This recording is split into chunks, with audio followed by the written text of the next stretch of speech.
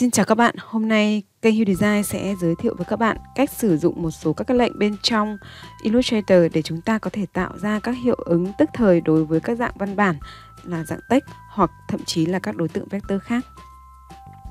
Ở đây các hiệu ứng có thể là bẻ cong đối tượng, có thể tạo ra các hình lượng sóng hoặc ép chữ theo hình bất kỳ hoặc là ép các đối tượng vector khác nữa. Cụ thể, chúng ta sẽ vào trong Object Envelope Distort Bên trong Envelope Distort này sẽ chứa các cái lệnh và hộp thoại để chúng ta có thể thao tác và tạo ra các hiệu ứng đối với các đối tượng bên trong Illustrator. Sau khi đã tạo ra một cụm text bất kỳ, tôi sẽ sử dụng Object vào Envelope Distort và bên trong này chúng ta sẽ thực hiện lệnh với Make with Warp. Phím tắt của nó là Alt Shift Ctrl và W. Bên trong bảng Warp Option này chúng ta có thể thấy các nút lệnh như sau. Thứ nhất, đây là các kiểu hiệu ứng Cụ thể, đầu tiên đó là dạng bẻ cong. Hoặc là chúng ta có thể tạo ra các cái định dạng khác nữa. Bẻ cong nhưng ở phía dưới bẻ cong nhưng mà ở phía trên. Hoặc là bẻ cong theo dạng vòm. Chúng ta có rất nhiều các định dạng về hiệu ứng khác nhau để chúng ta có thể bẻ cong hình dạng của đối tượng nhằm tạo sự đặc biệt ấn tượng các bạn sẽ thấy ở bên trong này có rất nhiều các định dạng cũng như là các hiệu ứng khác nhau cho text và cho các đối tượng, vector. Vậy thì tùy vào mục đích và cái ý tưởng của các bạn mà chúng ta có thể sử dụng các cái hiệu ứng này nhằm tạo ra ấn tượng cho sản phẩm thiết kế của mình. Đây là một số các cái mẫu hiệu ứng có sẵn bên trong phần mềm. Và chúng ta cũng có thể điều chỉnh ở bên dưới này để tạo ra các hiệu ứng theo chiều dọc hoặc theo chiều ngang điều chỉnh horizon hoặc là vertical để tạo hiệu ứng theo chiều dọc hoặc chiều ngang. Ở dưới này nó sẽ còn có một thanh điều khiển nữa, đó chính là điều chỉnh cái độ cong của chữ. Chúng ta giảm thông số về không thì độ cong của chữ hoặc là hiệu ứng của chữ sẽ rất ít. Còn ngược lại khi chúng ta tăng phần trăm lên, độ cong của hiệu ứng chữ cũng được tăng lên. Hoặc là chúng ta giảm xuống âm thì độ cong của chữ nó sẽ được bẻ xuống phía dưới, nghĩa là hiệu ứng của đối tượng sẽ được dịch chuyển xuống phía dưới đối tượng gốc ban đầu. Cho nên tùy từng cái ý tưởng cũng như là tùy từng sản phẩm mà các bạn sẽ lựa chọn cái hiệu ứng của mình sao cho nó phù hợp. Còn bên dưới này đó là biến thể của hiệu ứng chữ, cũng là hiệu ứng bẻ cong đấy nhưng nó sẽ biến thể theo uh, có thể là phần đầu thì to và phần đuôi thì nhỏ chẳng hạn hoặc là ngược lại hoặc là cũng tương ứng như thế chúng ta có thể tạo ra các cái hiệu ứng khác chúng ta có thể tạo ra các cái biến thể khác nhau cho cái hiệu ứng chữ đấy. Khi chúng ta dịch chuyển cái thanh điều khiển này, sau khi đã lựa chọn xong cái hiệu ứng theo ý của mình thì các bạn có thể click vào nút OK.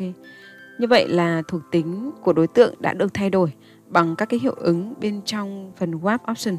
Ngoài việc lấy bảng điều khiển Warp Option bên trong mục Object thì chúng ta cũng có thể lấy Warp Option đó ở phía trên thanh control này. Khi các bạn click chọn vào đối tượng là text, lập tức nó sẽ xuất hiện cái phần Make Envelope này ở phía trên thanh control. Cụ thể là góc trên bên phải của giao diện làm việc. Tuy nhiên cái lệnh này nó chỉ xuất hiện khi đối tượng chúng ta muốn áp dụng hiệu ứng đó là dạng text. Còn nếu như là dạng vector, các hình object bình thường thì nó sẽ không xuất hiện cái Make Envelope này mà chúng ta chỉ có thể lấy bên trong object mà thôi đây chẳng hạn bây giờ chúng ta sẽ có thể lấy make with warp hoặc make with met. chúng ta có thể di chuyển lên thanh control ở phía trên bên phải của giao diện làm việc và click vào nút make envelope để chúng ta tạo ra các hiệu ứng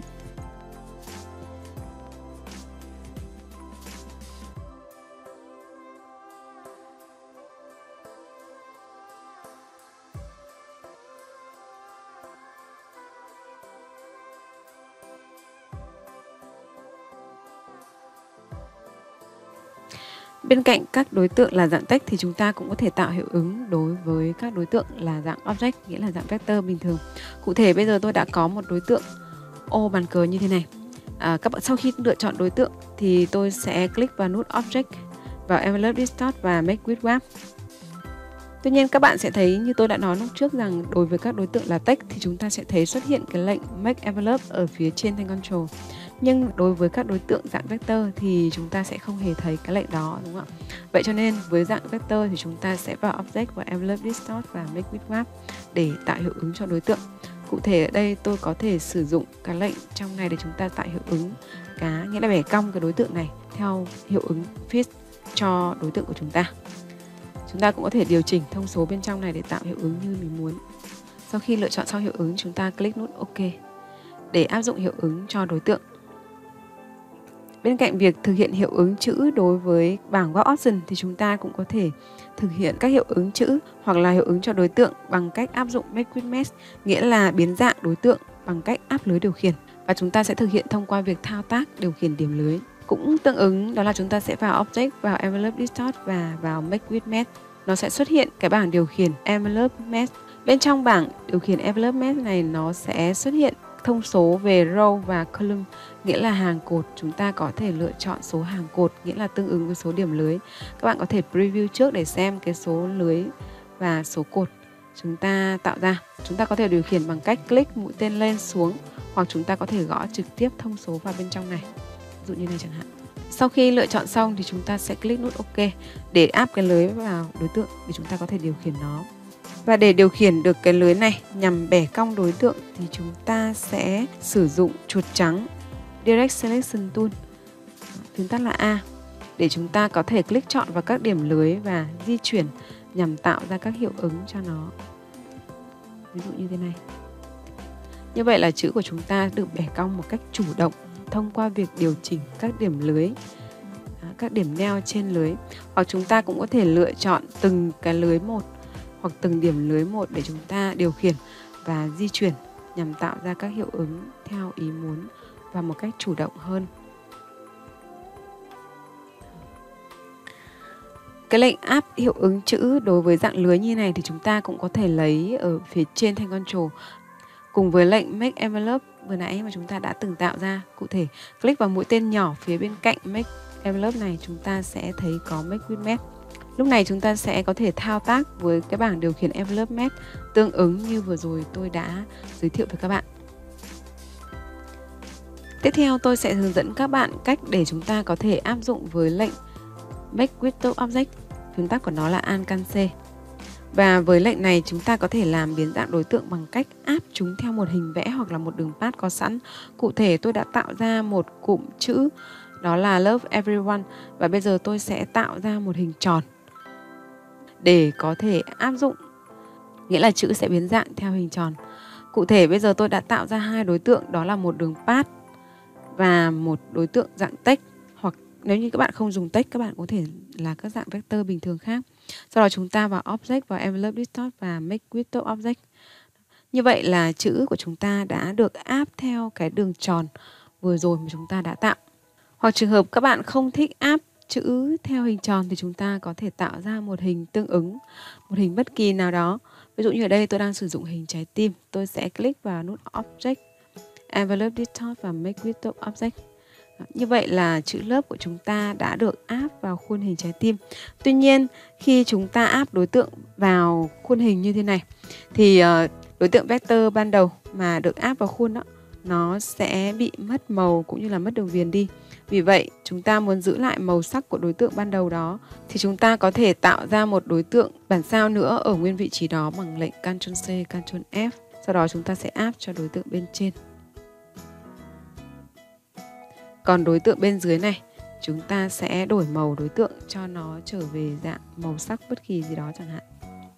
Tuy nhiên các bạn lưu ý rằng đối tượng text của chúng ta đã được áp vào khuôn hình thì lúc này đối tượng text đó chúng ta sẽ không chỉnh sửa và đổi màu theo cách bình thường được. Vì vậy chúng ta sẽ phải đổi màu bằng cách vào lệnh Object, Envelope Distort và Edit Content. Lúc này chúng ta sẽ có thể đổi màu được đối tượng text đó. Ví dụ bây giờ tôi sẽ đổi sang màu trắng. Và như vậy là đối tượng text của chúng ta đã được đổi màu bên dưới cùng với hiệu ứng của nó vẫn được giữ nguyên. Như vậy lệnh Edit Content bên trong Envelope Distort này cho phép chúng ta sẽ thực hiện các cái hiệu chỉnh trực tiếp trên đối tượng đã được thực hiện hiệu ứng envelope. Ví dụ bây giờ tôi sẽ đổi sang màu đỏ đây chẳng hạn.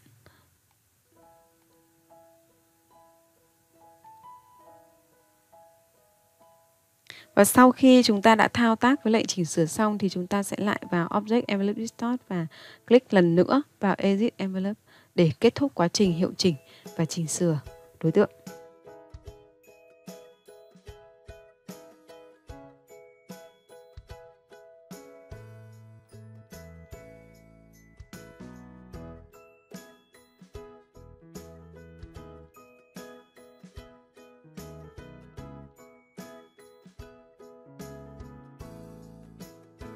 Và sau khi chúng ta đã tạo ra các hiệu ứng cho đối tượng như thế này rồi, nhưng chúng ta muốn trả đối tượng lại trở về trạng thái ban đầu thì chúng ta sẽ click theo đường dẫn đó là Object, Envelope Distort và Really để trả đối tượng trở về trạng thái ban đầu. Và lúc này đối tượng chúng ta sẽ được tách ra thành hai phần đó là đối tượng uh, khuôn ban đầu và đối tượng text hay chính là đối tượng chúng ta lựa chọn Tiếp theo bên trong Object Envelope Distort này đó chính là lệnh expand expand được sử dụng khi chúng ta muốn hủy bỏ thuộc tính envelope và chúng ta biến đối tượng đã được thực hiện hiệu ứng trở về đối tượng vector bình thường. Đó, thì chúng ta sẽ click nút expand như vậy là tôi vừa giới thiệu xong với các bạn cách để chúng ta có thể thao tác với lệnh bên trong object đó là envelope distort nhằm tạo ra các cái hiệu ứng đặc biệt cho đối tượng text cũng như là các đối tượng vector khác bên trong Illustrator. Hy vọng rằng cái phần hướng dẫn nhỏ này sẽ giúp cho các bạn có thêm nhiều ý tưởng để tạo ra những sản phẩm thiết kế đặc biệt, ấn tượng và thu hút thị giác nhiều hơn. Cảm ơn các bạn đã chú ý theo dõi. Hẹn gặp lại các bạn ở những phần sau.